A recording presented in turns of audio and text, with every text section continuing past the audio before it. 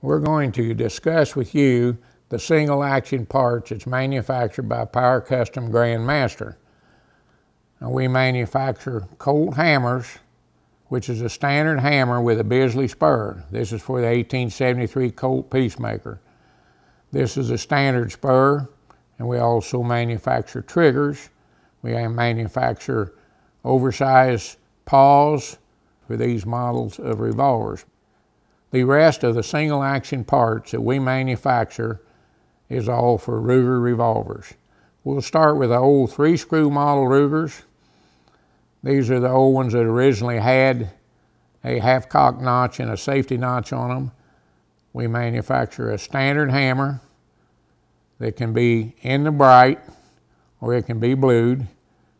We manufacture a three screw hammer that's a Bisley hammer and we also, to go along with it, or either one of the hammers, we manufacture the wide trigger, which is like the old three screw Super Blackhawk firearms had.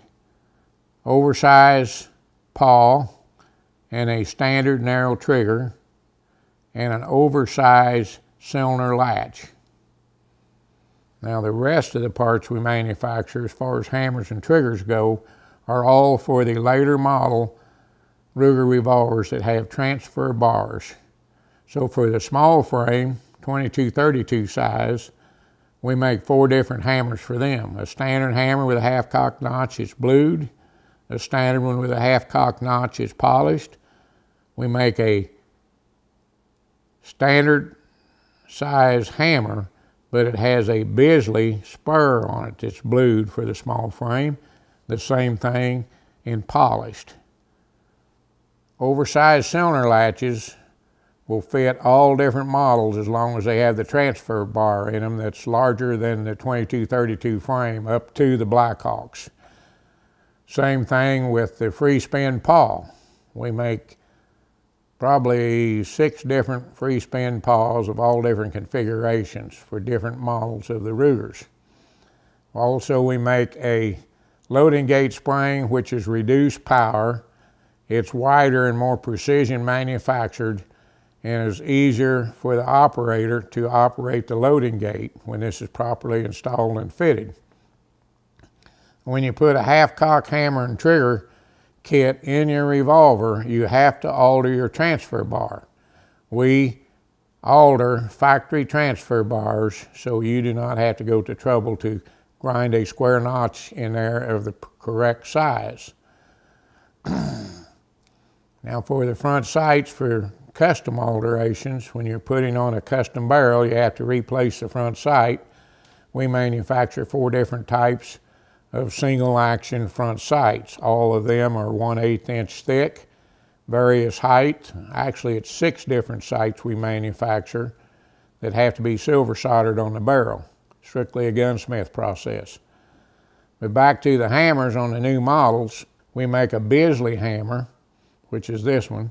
We make a Bisley hammer that's blued and a Bisley hammer that's polished bright.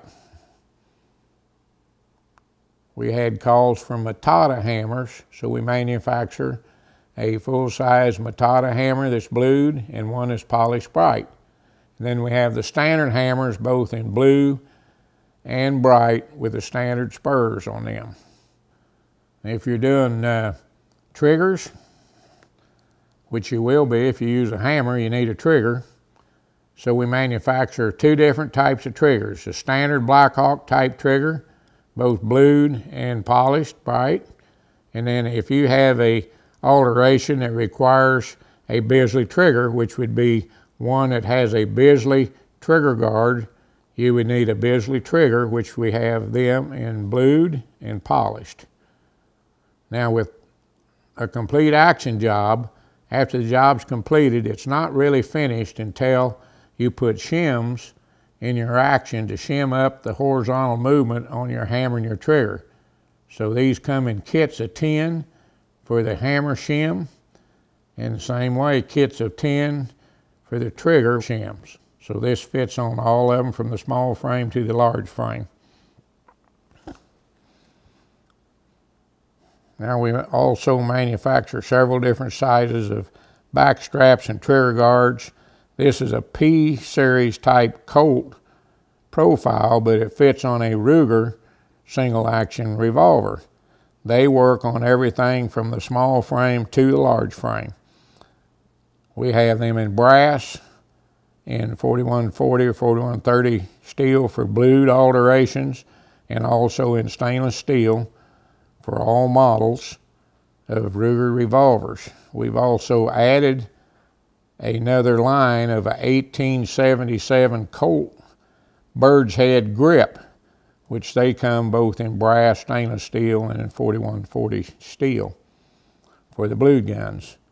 The Keith number five is proven to be very popular, and it only comes in a blued backstrap and the front straps and the back straps will all interchange with each other. Now, you'll need an oversized base pin. So we manufacture 14 different types of base pins, all for Ruger single actions. They're key style, both blued and stainless. And we make the same thing, only it is a knurled head, a shorter head for like a uh, sheriff's model alteration where you need a little longer travel on your ejector rod. And then they all come with complete instructions and an Allen key to lock your base pin in. All base pins have locks on them and are quality precision made and ground to exact size. Now if you're a professional and you're installing several base pins, you need a reamer the easiest way to install a base pin is to run a reamer from the rear of the frame through the back hole in the frame up through the front hole where the base pin goes and that will align the two holes. Many times the back hole is off in reference to the front hole and it's hard to get the base pin in.